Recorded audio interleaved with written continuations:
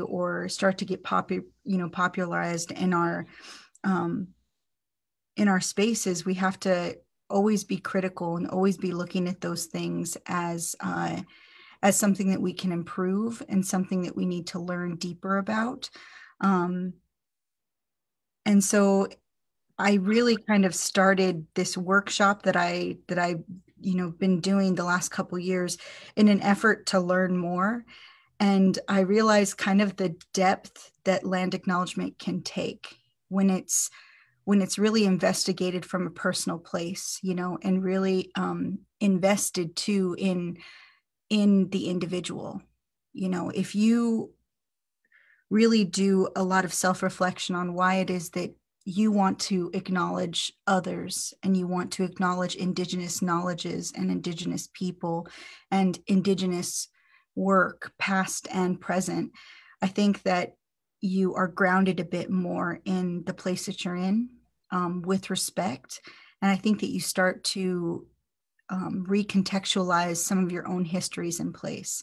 Uh, and I think that for me, this this workshop that we've been you know doing um, with Bunnell and now doing land acknowledgments and action through signage, murals, and different projects. I think that it's just like the next step forward. You know, it's it's moving from that place of okay, so we're learning what land acknowledgement is. We can think about it, you know, conceptually or say it or or write it, but what does it mean to make a land acknowledgement? You know and and i just kind of see this project moving further and further you know um, in my workshop i talk about you know no one's expected to do the right thing the first time. You know i think that there's a lot of fear around performative acts of allyship and it's a real fear fear and also a real um, a real danger too to to live in that place you know if you're not constantly moving forward in your knowledge you know and i think that you can do that in little ways um, and through through action through through the through the gathering and painting of signs you know. I think this last weekend the real value in what we did was not so much the sign that we created but uh, the community and the discussions and the people that came together you know um, that moment where we were all talking about this thing in that time you know in that place in that space you know and and really like talking about what does it mean to be thankful and what does it mean to you know properly acknowledge indigenous people? Is it in language or you know it in indigenous language or is it in english you know? Is it using the place names or is it you know trying to make an outward sort of signal to to every person you know passing by. I think that all these questions are important ones to ask. Whether we have the right answer whatever that is or not i think that it's all about trying and it's all about making that effort.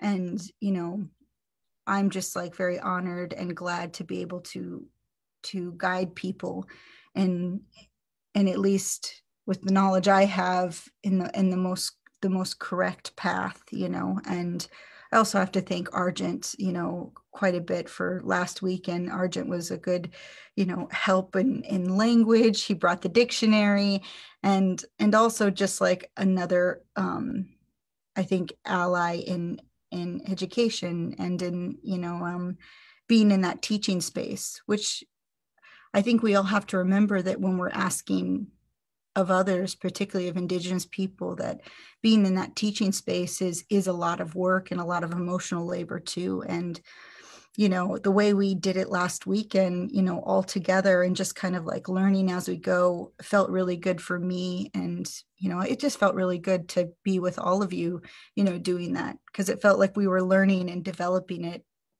in that moment. Mm-hmm. Thank you so much, Melissa each of us brings a different experience to this work, which is so va- valuable. And for Bunnell, our goal is to deepen local dialogue and awareness about land acknowledgement, to broaden participation and understanding, knowledge, and respect for this work as collective action through very individual contributions. As part of this dialogue today, we'll share photos of the signs that were created and we'll talk about where each of you envision installing them and why.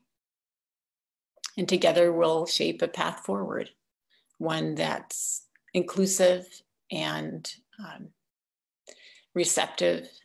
And I appreciate what you're saying, Melissa, about taking these steps, taking small steps. That's of vital importance. Um, and and each of us, um, we have with us, of course, Argent Kvasnikoff, uh, the board president of Bunnell, uh, Rika Mouw, Brianna Lee, and, and Debbie Poor. I'm so grateful that you could join us. And um, as we look at images of your work, I think it would be really exciting to share what draws you to this action, maybe a, a story, um, uh, the personal um, journey, perhaps a little window into it of what draws you into this work. I'm really um, open to whatever you might want to share. And I think what um, what strikes me as as deeply important about this human journey is that we're all um, survivors of the uh, colonial mythology of outward discovery with its um, agenda of manifest destiny and its um, strategy of exploration. And in many cases, exploitation of the land. For some of us, that's what brought us to Alaska. For others, they're survivors of that legacy.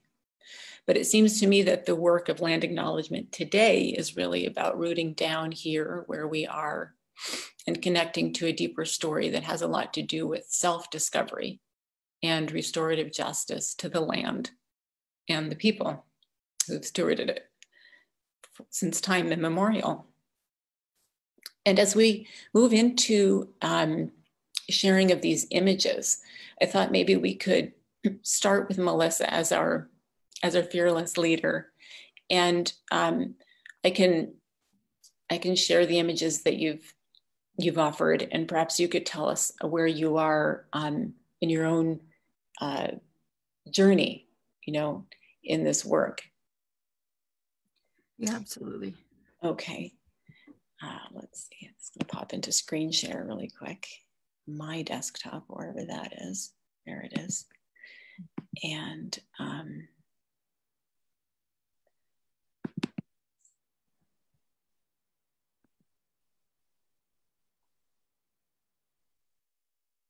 Did that work? No, doesn't feel like that worked. Here we go. There we go. Yeah. Um, yeah. So I, you know, I gave you a little, a little bit of a, a lead into with some of the development of this that really, um, he, all this work started off with me just wanting to understand land acknowledgement more. Um, I had attended a conference in Canada and um, I found myself at a you know at a table you know with all at least outwardly facing like non-indigenous um, individuals. And you know i was there with like my notepad and like very diligently ready to like you know take notes and bring back to my institution i was working at the time you know this this information on this arts conference. And i found that i i honestly couldn't even get past hearing the land acknowledgement because it just moved me and just really shook me so um, you know, because in that moment, I didn't realize how important it was for me to feel like I was acknowledged on like another level, you know, on a level of that I was that I was a human and that my family and everything was considered in the work of that conference of that individual who was giving the land acknowledgement you know and and while it's like policy in canada um, you know with truth and reconciliation to have land acknowledgements i think that in some ways it, it meets people at the different sort of stages they are in their own sort of um, i think identity and development in you know in in institutional you know um, environments you know uh, I heard that land acknowledgement and it made me feel uh, very, very seen and welcomed in that work. And also made me feel like, in some ways, I could be part of it, where I didn't even realize before that I felt so much of an outsider to that world that I really desperately wanted to be part of you know and uh, that's i think when i kind of realized the power land acknowledgement can have um, for people and so i wanted to learn more about that and about how to develop that um, you know in in art practice you know in a way that that is beyond performanship performanceship and um, into more actions and into more um, learning spaces you know ones that is welcoming to to everyone um, but still is guided by indigenous you know um, belief systems and principles so for me this has become like uh, creating things that that are physical you know? Um, i like physical spaces. I like to have physical conversations with people you know? And i think the signage this signage project has just been sort of a, a manifestation of that you know? Um, when i was quite young i i was uh, given the name by the elder um, little teacher. And uh, i think that in some ways that kind of like shaped my whole sort of way of being you know? It's like i've i've always been trying to to figure out like what kind of artist am i going to be? What kind of person am i going to be? You know what what what is going to sort of define me as as an individual. And i think that it's been this sort of um, journey of trying to understand and trying to learn but also trying to teach people because because i think that that's a, the other side of teaching is that you're you're really just a very curious person you know trying to understand things deeper and deeper and on, a, on another level. And um, I think that's that's been you know why why I've I've been on this you know train for so long is because I I, I do see that it has so many layers and I think that we all can benefit from them you know because at, at its core it it holds so many uh, I think important Athabascan values that while they're Athabascan while they're Dene I think that um, our whole world can benefit from them. And transparently recognizing and acknowledging people is a very much a potlatch, you know, very much a ceremonial um, part of Dene culture. And I think that it can it can really um, build bridges for people when you recognize them transparently, publicly, um, and and with understanding. So I think you got to go the other way, Asia. I think the other the other ones are before. I, I, I must have put them in a little bit out of order because we're jumping into. You think so? You think? I think it's at the very front. Yeah. Right. You're really so right. Here we go. Yeah. yeah. So this so this is actually a, um, an image that I um, I completed for the Girdwood Fine Arts Camp. So in some ways, every project that I've been invited to, I I've been putting in Indigenous language and land acknowledgement into every part and then this was a, a mural um, in the Girdwood Town Square they have where that the the the uh, center park is. And so we had all the kids like draw little plants on the land. So we went out and did like little plant drawings, and then I digitized them, and we uh, we uh, took a projector, projected their images so they could paint them, and then I painted dentalium in the in this in the um, sky, you know, the yellow sky with the the land acknowledgement uh, that was created by Helen Dick and my aunt Sandra Shaginoff Stewart. Um, let's see what else do we got. Can you go to the next one? So th- this was part of uh, a little zine that I've been working on um, the past couple years using uh, indigenous languages uh, from the place that this location is. This is uh, Eklutna lake in, in English, but it's it means uh, Induvina, which is a plural objects lake um, for the Dena'ina people, a really important uh, sacred spot. Um, these are just little ink drawings that I started doing, but but I wondered too, like if you took these really iconic parts of you know, um, or, or Anchorage and, you know, only used indigenous language like what what what does that mean and where do we see that you know? And and I go back and forth between using indigenous language you know solely but then also using English you know? And and when is it appropriate to to to mix the two to keep them completely separate you know? And I think that it's it's all it's all you know um contextual in different situations but yeah. And then this was actually the kind of first sort of signage project i did. I started doing um, place name sign and land acknowledgement signed and just kind of like statement signs uh, in anchorage with my friends. This is uh, the, you know the the the talented wonderful beautiful ruth miller um, you know in at her home uh, so painted dagayakak an anchorage sign um, and uh, this is kind of how I envision our signage project happening is so when I come visit this weekend, uh, we'll be taking some photos of your signs with you in front of your homes. So in some ways, you know, these signs become an installation and the whole gallery space is is Homer, you know, or in this case Anchorage. And I think that um particularly in times when we can't be together in the same way that we could before this feels feels good because it's it's a way to sort of make a statement from afar and but also it's a very human statement too you know signs of gratefulness and such um, and then of course this is this is Bunnell. Uh, this is a little drawing I did before I started the series of land acknowledgement work um, with Asia Bunnell, and you know it's it's been very uh, uplifting and exciting. Um, you know and, and asia there was something you said too before uh, you asked this question that i probably didn't answer um, but you said something about like how this work is rooted in in restorative justice and self-discovery and i think that i think that it's such a true statement um, because i almost feel like you can't really start work in allyship in land acknowledgement in in these these forms of inclusivity diversity you know um, justice work without without really uh, turning it towards self-discovery and really turning it towards who you are as a person.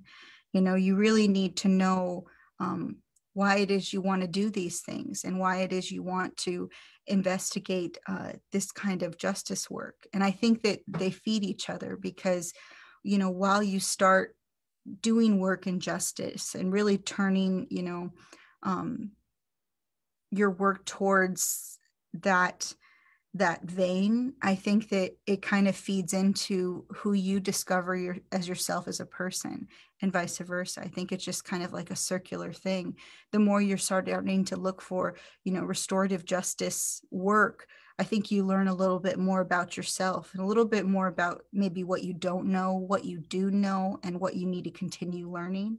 And then it's just it's just something that's like self-perpetuating, I think. And um, I think that it's a, a really important, you know, part of this work is is that circle you know is like always checking yourself and you know um, always just moving forward and you know keep on rolling along, I guess, in a circle. but um yeah, I think that's that's that's what I, I have to say about that. Um thanks, Janan. Thank you. Thank you, Melissa. Janan. We're now looking at a beautiful image painted by Brianna Lee.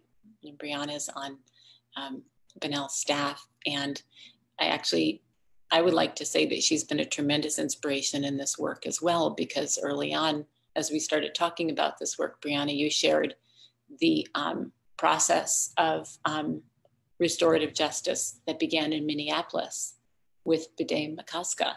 And I wondered, as we look at your images, if you might share something of your process and story. Sure. Yeah. Um, I, I also made this sign with my five-year-old daughter, um, which was really a fun process as well. But um, starting back what Asia was talking about um, with, uh, you know, in, in, Minneapolis where I'm from, um, kind of witnessing and, and growing up and around uh, Lake Calhoun, which it was previously called, um, um, watching the process of you know the indigenous people actually um, doing they uh, Kate Beane was sort of the leader behind this project and many others, but um, seeing the process of actually renaming something to its original name, which is, um, as Asia said, Lake Bde Maka Ska, um, which means Lake White Earth or um, Lake White Bank. I had been gone from Minneapolis for um, probably eight years, and when I went back, it had been changed. And to to visit this place that I, you know, as a child, I mean, I I would ride my bike around the lake sometimes five times a day. Like it was just it was a very um, place we always hung out and played and um, and going back and seeing the different signs and um, seeing all the work by all the different um, Dakota and Lakota artists that um, put around the lake. There's there's words, you know, in the cement sidewalks, uh, original names of animals and um, different plants. I mean, they just the beauty and um, the effort put into um, giving back, I guess, that place to the indigenous people in a sense. Um, it felt different when I went back to see that. It felt different when I walked on that path. It and it it was kind of shocking for me as like an adult. Like what I felt like, why didn't I know? like why didn't I know this? You know, why am I just learning this now? Um, it made me sad. It also brought me so much joy that um, this place, you know, was given back essentially. So that was really powerful. Um, and, um, you know, for me doing this work, um, you know, these are sort of like small little actions, um, starting, you know, sitting down and creating something and thinking about what you want to say. Um, for me, it really starts like what um, you all were talking about. Like it starts with ourselves. It starts with this foundation of who we are. Why are, why are we here?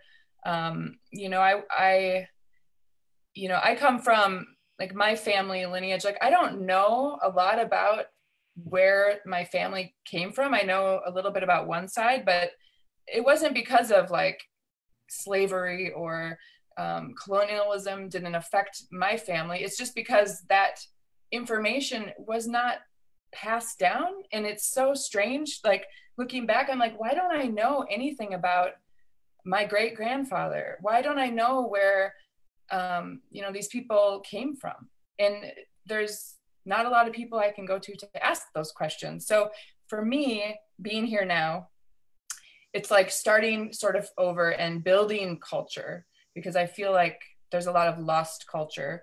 Um, and this work for me is um, it's really about um, building this culture that will then be more inclusive and it will be more respectful and i think we're living in such times where um, we're seeing a lot of disrespect between people.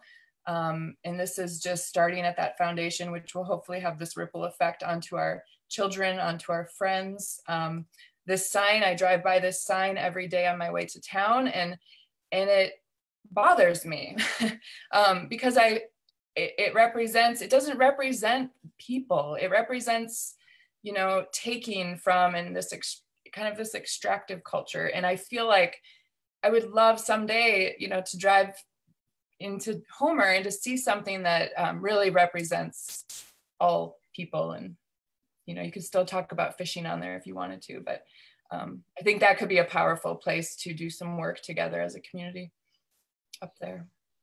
Thank you, Bree. And, and this this sign was actually created by Emily Cobble, who just graduated from high school here in Homer a couple years ago. Um, this was created in in Melissa's um, workshop, and we do have another of your signs, which I just want to acknowledge these beautiful signs created by Emily, who wasn't able to join us today. But imagine if you saw something like that as you came over Baycrest. And here we have Rika's beautiful sign. Um, unmute, dear.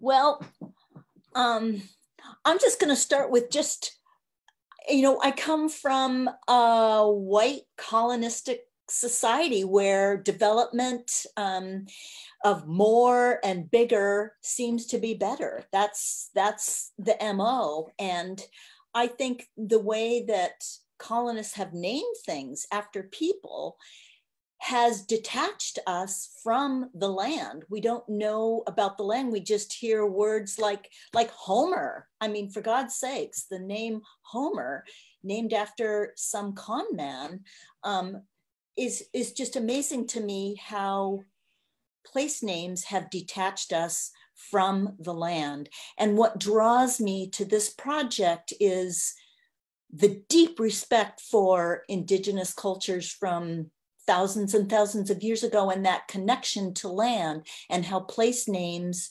are from that land. What is even names of months everything is is connected to land.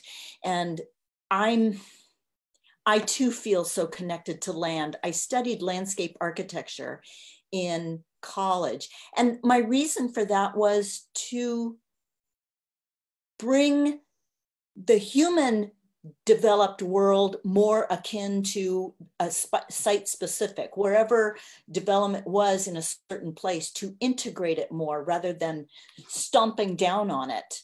Um, so a, a, project that I've been working on, John and I have been working on for the last 20 years is, and Asia, you may have that photo of the overview. Um, of the Beluga wetland system. And it is named Beluga Slough, Beluga Lake, and all that. And I think that that comes from the fact that beluga used to come into that water body to feed on fish. And Clem Tillion verifies that, that beluga were seen all the time. And it tells me that fish, specifically salmon, used to run up that before white colonizers colonizers um, decided to build an airport runway there and then to build a road across that dammed that road. And so my sign is i would like to place right where that road is and dams beluga lake now. And there's some um, i don't know what you call it equipment or machinery but it controls the intake and outtake of Beluga Lake.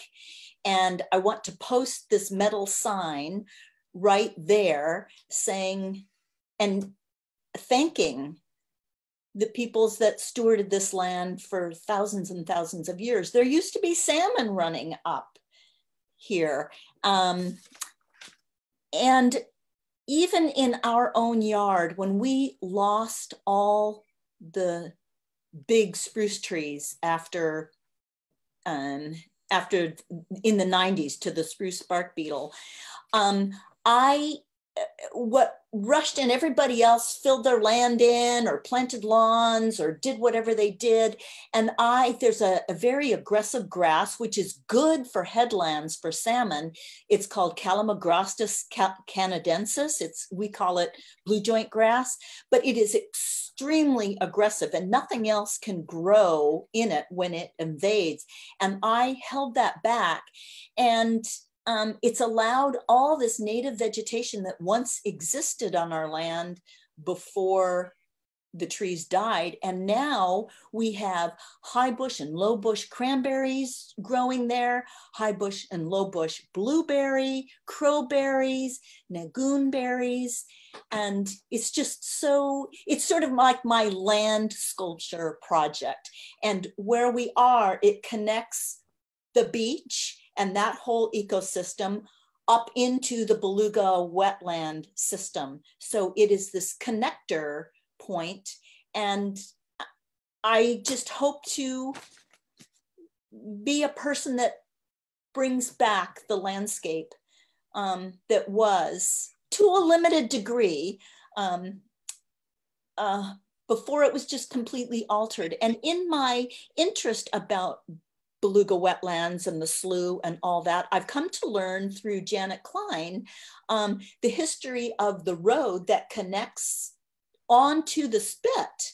And the gruesome work that colonizers did making that connection road. I mean, they literally filled the mud flats with truckload after truckload of cut trees to build this cribbing and then fill it with mud and to make this very mud food sustaining environment into completely altering it. And so um, that, and I don't know, Asia, if you've got that, I sent a picture of the. I should have put it in this. Oh, okay. Okay. And so it's just a picture of this altered landscape and really what a group of us are really trying to, what we're trying to do is stitch real estate back into a landscape. And the colonizers came and just chopped it all up with these arbitrary straight lines and these tiny little lots all through the wetlands. Um, and we are now slowly acquiring piece by piece and stitching it back into a landscape and hope to at least connect it all because the best way for nature to heal itself is to be connected to herself. And my biggest respect for indigenous ways is their connection to land and their understanding that they are part of it they it's all one and that we're all related human and non-human. We're all one family. And that's so so important to me. So there you go. Thank you for letting me be a part of this. It's deeply meaningful for me. And the work that you're doing is so impressive and incredible. Um, to think that you know you pour so much into Bunnell into your art making, but there's this whole parallel practice of earth stewardship, and now it's all really connected. And the show that you have opening today at Bunnell truly expresses that. Oh, thank you. Thank you. This is a piece I want to return to is Image Out of Order again by Brianna Lee. And um, I just want to acknowledge this gorgeous painting. I, I did not make that. Oh, am I getting mixed up? It is beautiful. Is that yours, Melissa? Okay, that might be Adele's. I'm, I guess I'm, I'm not ignorant here, but it's a really beautiful piece. I'll need to find out who made it. It's delightful. I yeah, think, it's really nice. Yeah, I think maybe um, one of the Bunnell folk made it. Argent here's a gorgeous piece that you just shared with us. Would you like to speak about this? I think you might need to unmute. There you go. Sure. Um, hello, I'm, I'm Argent Kvasnikoff. I think people who are here know who I am. Um, I was also a participant of this project.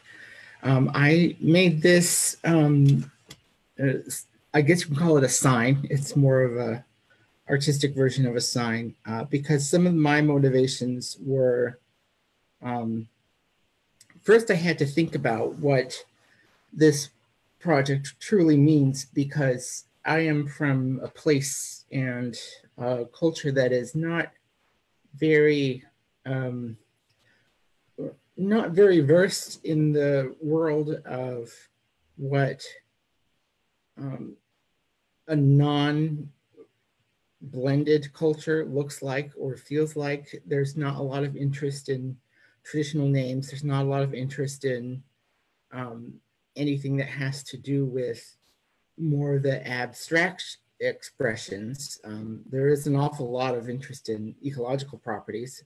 So I wanted to make something that was kind of a bridge between those two ideas. And one of the things that I was really excited by learning was uh, a project that Rika had worked on um, concerning um, ecological connections and, art and through a multidisciplinary event hosted by the Kachemak Bay Research Reserve.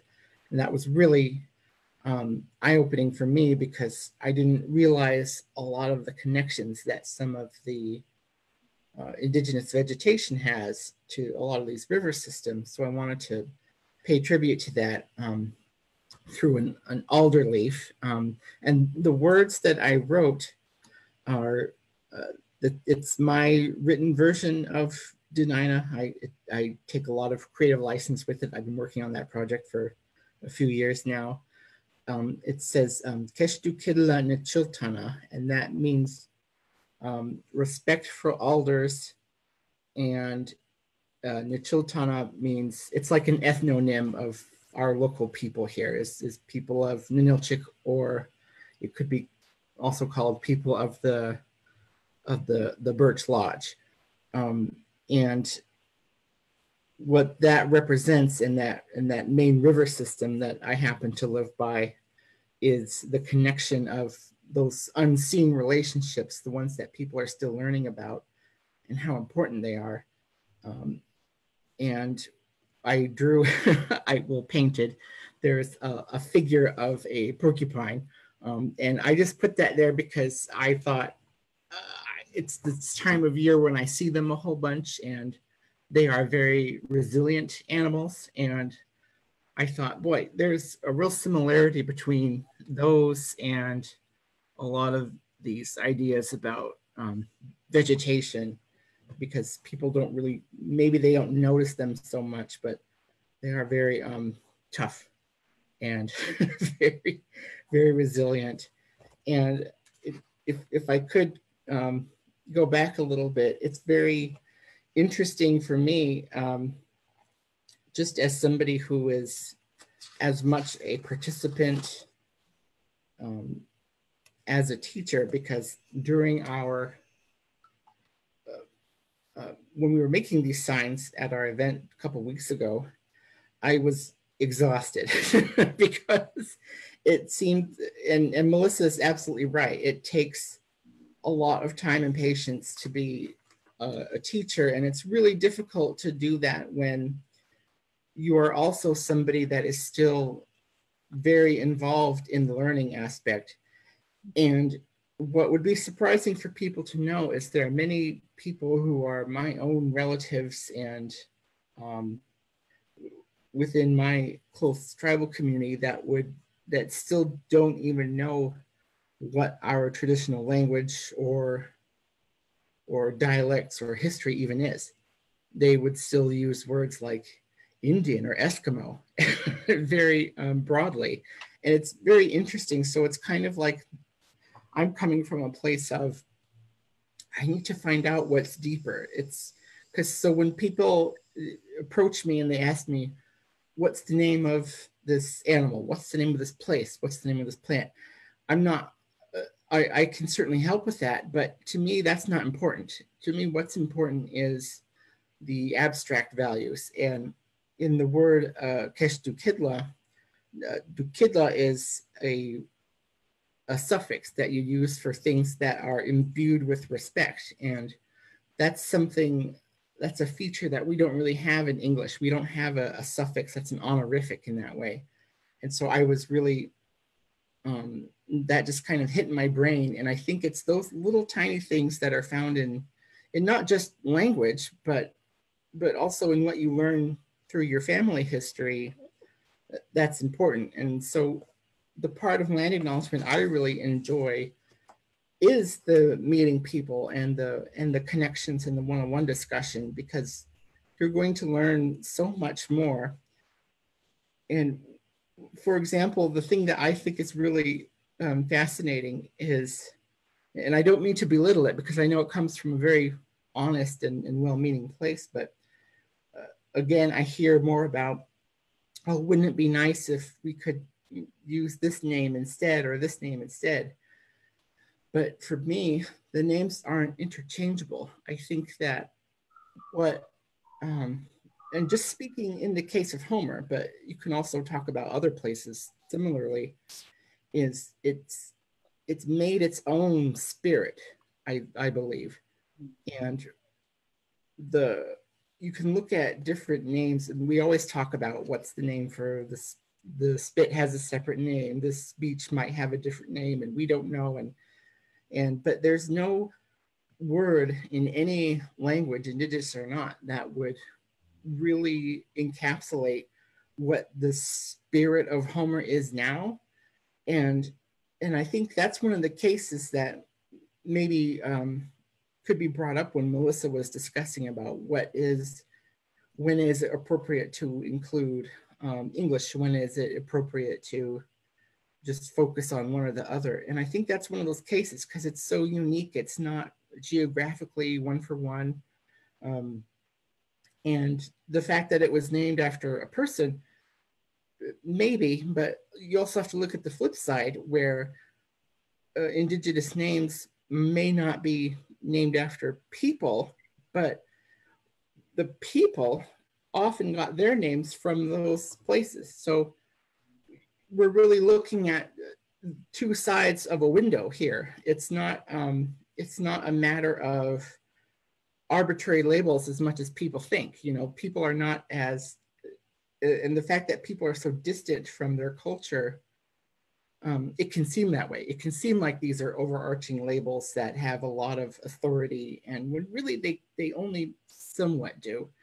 And what I really um, I, I feel for people like Brianna who said that that they wish they knew more through their own family history, and that's not something that is um, a result of any, you know, necessary trauma. It's just kind of the natural progression of how things happened, and and one of the things that modern culture and, it is it has mostly been white culture, but there are people that perpetrate that in, in all manners of life is is there is a cultural loss.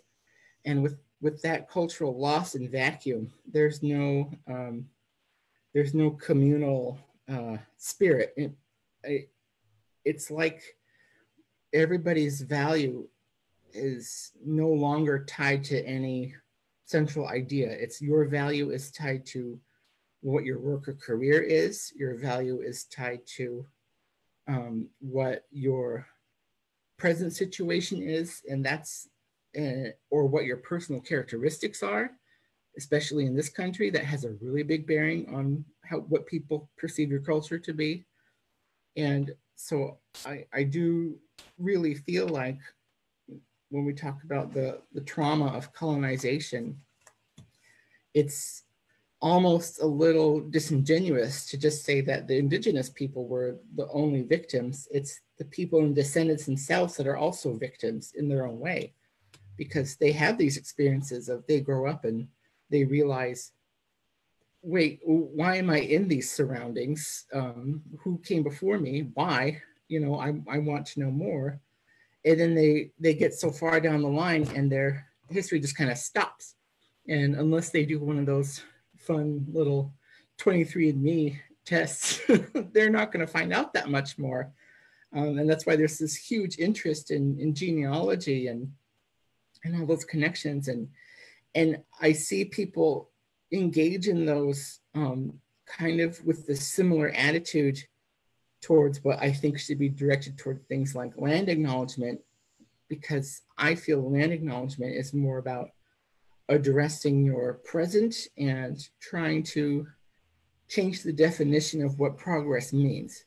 Um, people say, we mean, I would like to see all these things go back to the way they were. Um, and it, it can mean anything. It can mean society, it can mean natural features, but there really in a way, there really is no going back. You can try to um, mitigate some of the long lasting effects. You can do whatever you want, but there really is no way to actively go backwards, and there's no way to legislate um, acceptance and reconciliation. You can make specific actions that address a lot of those topics and instances, but there's no way to legislate that interest. And the the one last thing I would like to mention is um, last week when we had a discussion with Skywalker Payne about um, the role of of racism in a lot of our um, just how we perceive the world and how we connect to each other. Um, the one thing that I found very coincidental was not only did uh, people say they didn't have enough time to participate in um, actions regarding diversity or inclusion, um, I found it very coincidental because if I were to ask anybody um, in my tribe or extended family why they never um, uh, learned kind of what I have um, just through my own family lineage and, and interest in, in uh, cultural studies, that's the same thing they say. They say, oh, there's, we don't have any time for it. And so I, I made that I had that epiphany last week where I thought that is the same exact thing that people say when it comes to um, cultural learning. And so just taking the time is so important. And that can mean anything. It, it, it means that it doesn't mean you have to participate in any big initiative or program or or even talk to anybody else. It just means taking some time and so I think beyond all that, that's going to be the most important thing going forward. Mm. thank you. Thank you, Argent. Um, this is the first in a series of um, collaborations that I did with um, Debbie Poor, who um, also made some gorgeous signs that we'll look at. And my thought with this series is um, that it could stand perhaps in the garden alongside Bunnell, um, intermingling with the pictures of, um, you know, like Breonna Taylor and, and others who have um, been lost due to violence and disrespect for life. Um, these names are ones of the few that I have been learning in this process. And with each, you know, um, new word is is just a sense of um, a deepening connection and and an appreciation for um, the stories that uh, I I want to learn more about, which were which were missing from my education growing up in Alaska. to hear the name Kajimak and hear the resonance of Ketchimak in that name as a as a distortion over time but contains its original essence still is really exciting for me when I just learned it a few weeks ago from Sugpiaq elder Sally Ash, who's been teaching Sugstun, the language of the Sugpiaq people in Nanwalek for over 20 years. and immediately, of course, after that, I just wanted to say, you know, Koyana to Sally because in sharing these words and teaching them to um, her community, she's showing those folks and others how to care for this land. And as and, and the same is true for for Melissa, Joel, Isaac, Argent, who've been teaching us words. Um, I feel really uh, overwhelmed every time I try to say, you know, Shanann. It's like, can I say that? And uh, and this is why it's important. There's a lot of wisdom in these words.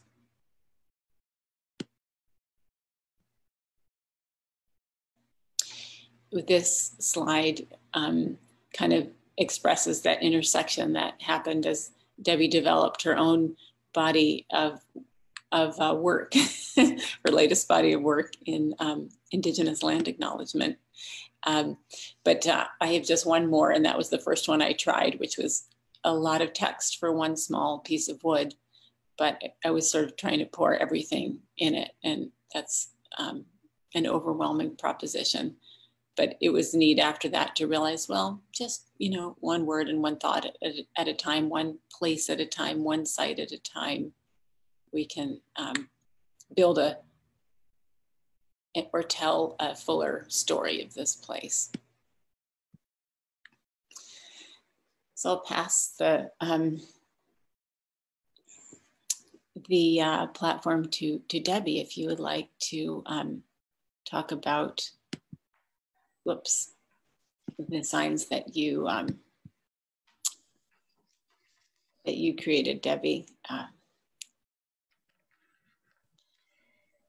well, may I say Chinan for this opportunity. It's something that's near and dear to my heart and carries a lot of emotion. Um, my parents moved here from southern Minnesota, and I was born in 1953 in the old Providence Hospital in Anchorage, which is right downtown, was right downtown. It was on the bluff.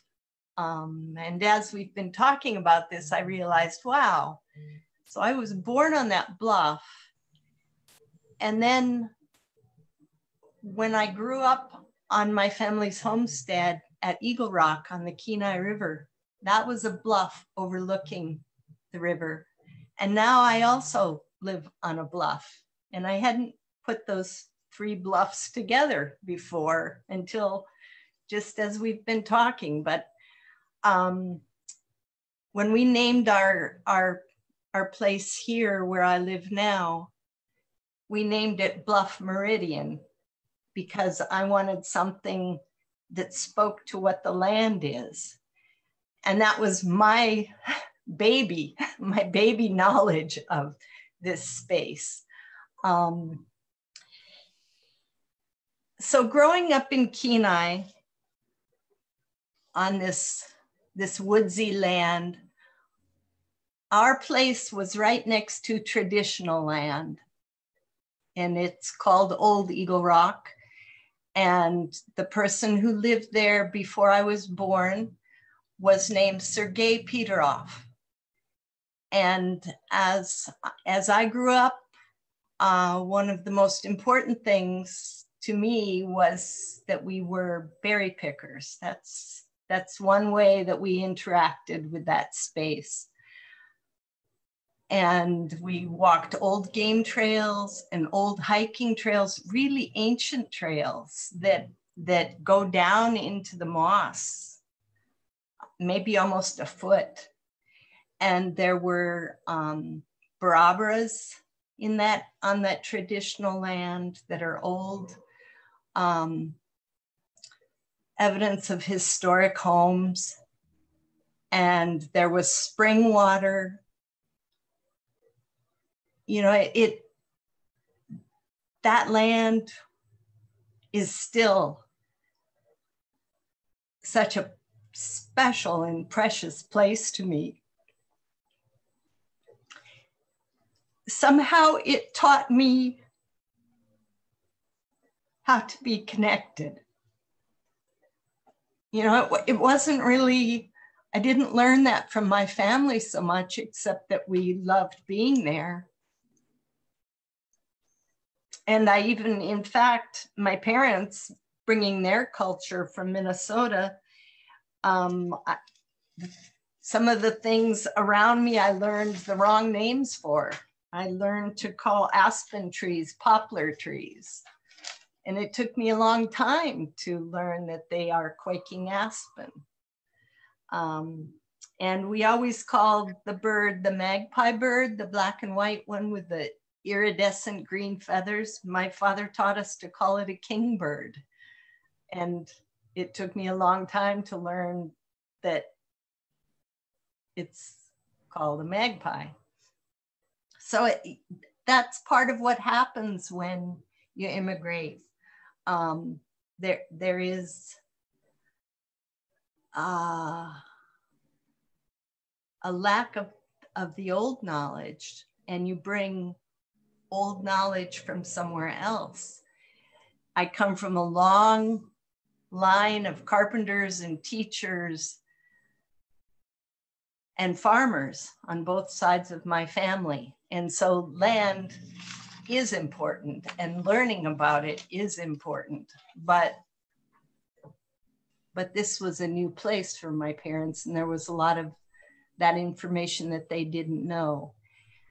And I was I was close to old families in Kenai, but I but not in the sense of learning what to call things or yeah, yeah, that was just the one piece, I guess,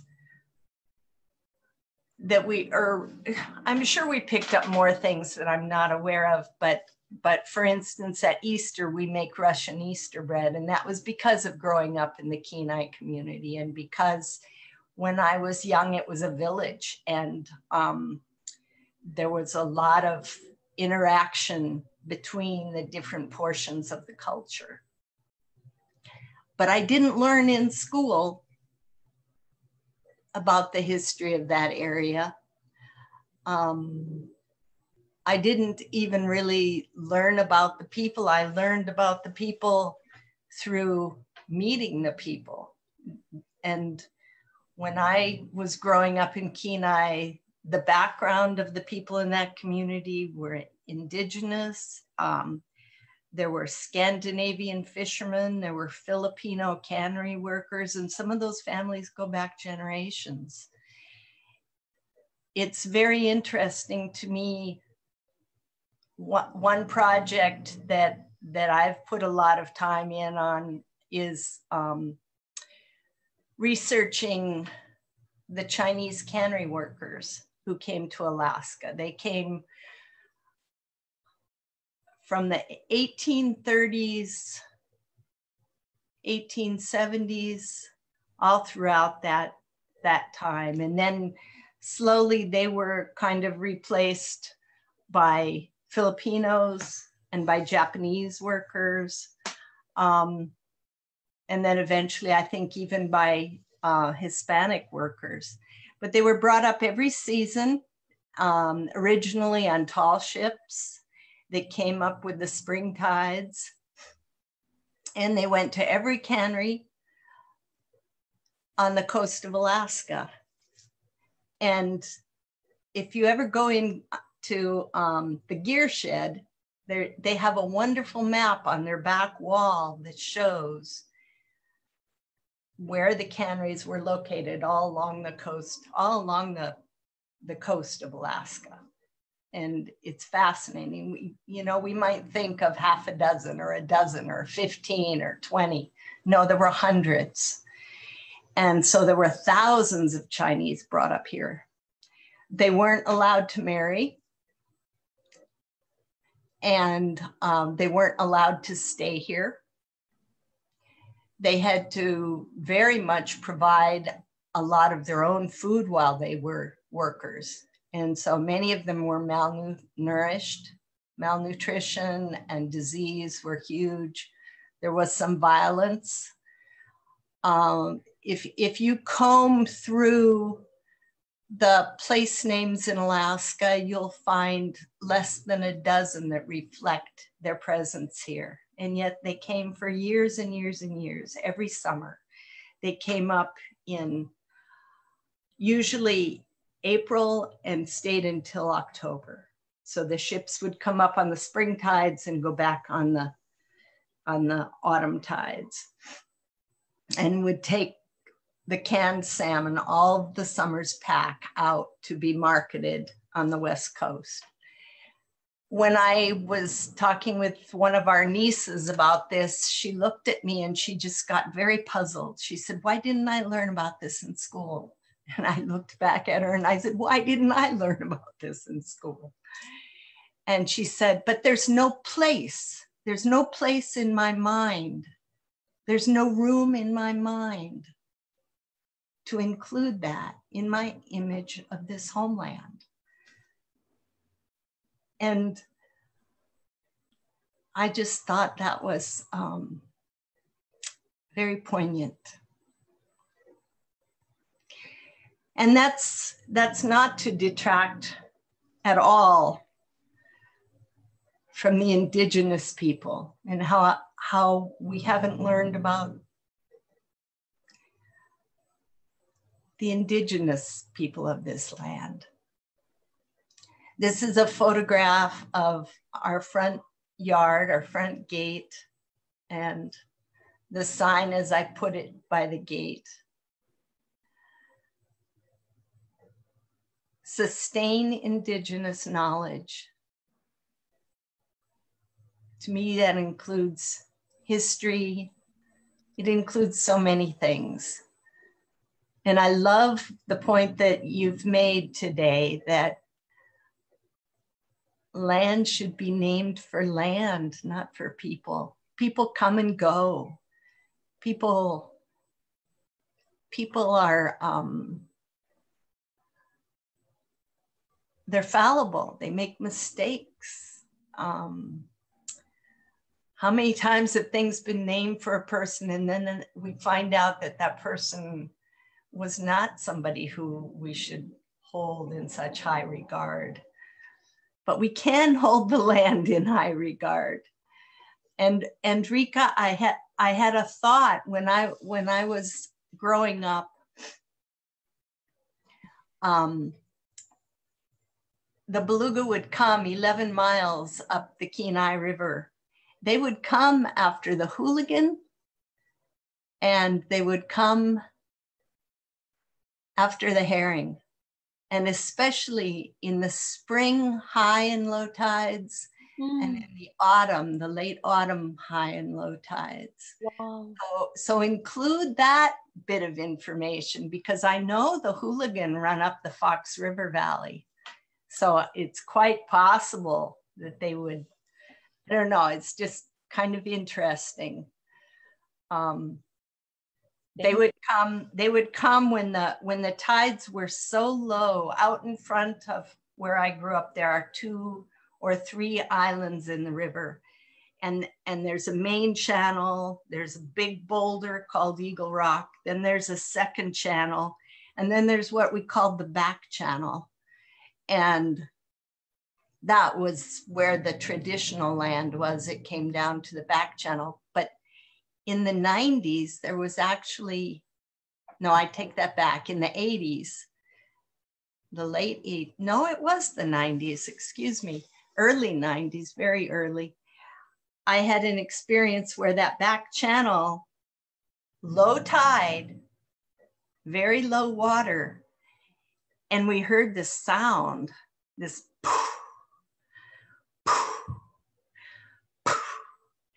And we went to see what was going on. And I said, I know that sound. I know that sound. But, and we got down there and there were over 30 beluga whales, all ages, all sizes, and they had cordoned off that back channel so that the hooligan were caught there in that low water and they were just having a feeding frenzy. They were rolling. It was just like the water was boiling it was really something to see. So there, I digressed a little bit, but um, th those are some of the, I think some of the most, oh, the other, the other, other comment I would like to make is that when I was teaching, we learned that for children to have a word and learn to spell it to take it into their lexicon, into their own vocabulary, they needed 10 experiences with that word. And certainly the richer and the deeper those experiences would be, the more, the more meaningful, um, the more really wonderful and, and lively that word would be for them.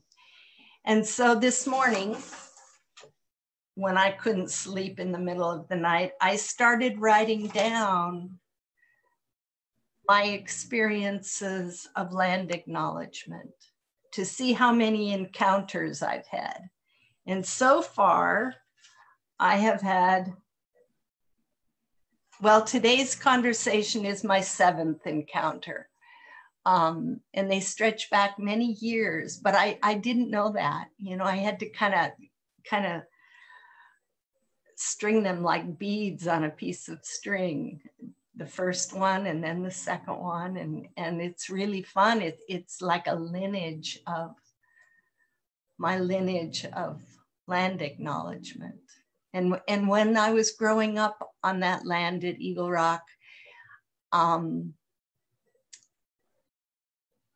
there was a sense of this but you know there was no model for me and so that's why i get so emotional about it now Here's the model. Here's the avenue. Here's the path. Thank you for this. Thank you, Debbie.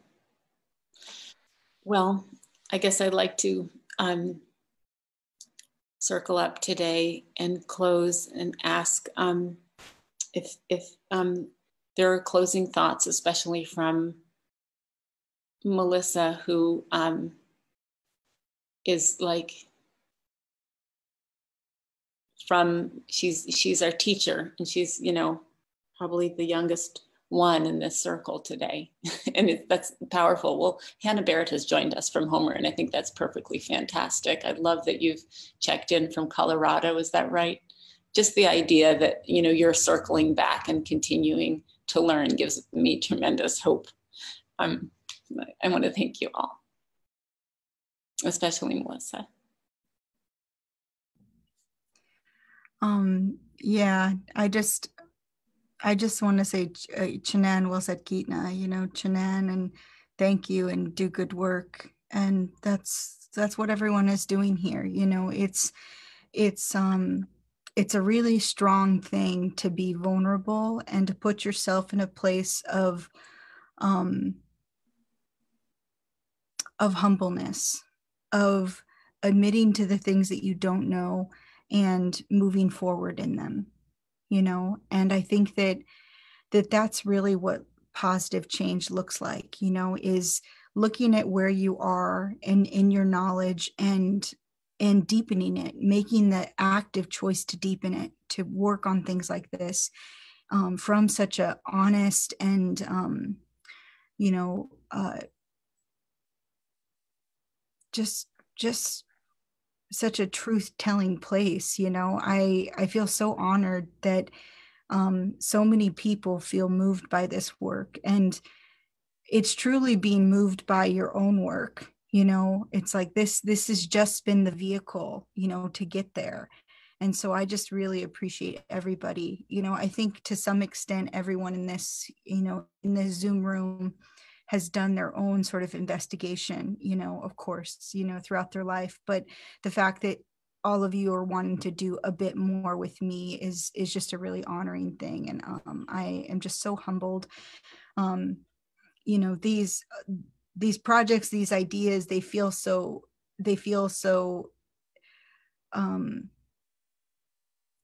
they feel so important to me that it's almost it's it's hard but it's hard to sort of describe like what what they what they actually mean you know um and i think argent said something too about you know how you know colonialism why it didn't directly affect you know myself or or or himself um it it affects us in in our current sort of like experiences you know, and in our current knowledge and the work that we do, you know, to understand our cultures and to learn about them, you know, through all those difficult things. But I have to say that working with a place like Bunnell um, makes me feel brave to do so. And you know so i just really appreciate Bunnell i really appreciate everybody here i'm going to try not to get emotional because um it just means a lot. It just means a lot to have, uh, you know, institutional support and community support from, um, you know, folks like all of you, you know, because um, this is work that that very easily nobody could care about, you know, and the fact that uh, you are all willing to do the work um, to care about it is is an important thing and uh, it is truly work it is truly work to um, to do this to do this kind of thing. So, Chanan, thank you. Thank you. We'll see you tomorrow in Homer. Yep. one o'clock at Bunnell. Yes. Yes. Until then, everybody. Yes, I'll see everyone. Everyone, uh, wear your wear your best outfit, because I I have my camera prepped and ready. okay. All right. If, if I can, can I say one more thing? I want to talk to to to Debbie. Um, I just want to say that was really nice for you to share, and I'm going to use um, that idea of repetition and, and keeping track of that. I think that's a really powerful thing to do. Um, and, you know, I, I, one of the things that you said that stuck out in my brain just real quick was um, about the history of the cannery workers. And if you look at our culture's artifacts from the past 300 years, you'll see that it, they incorporate materials from all cultures, and there's many beaded pieces that use um, Empire era Chinese coins, and and there's so those connections are, are there and they exist and and they're they're valuable and so I, I really appreciate that thank you thank you all right until tomorrow Ahana. Thank you. Bye bye. So much. Tomorrow. Bye. See you tomorrow. Bye. Bye. Thank you.